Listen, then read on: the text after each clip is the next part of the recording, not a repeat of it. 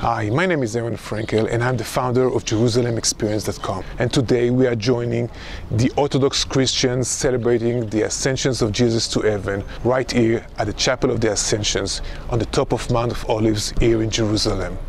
We are going to see the Greek church, the Armenian church, the Coptic church, and the Syrian church celebrating each one of them uh, the ascendance of Jesus to heaven. So let's enjoy this video.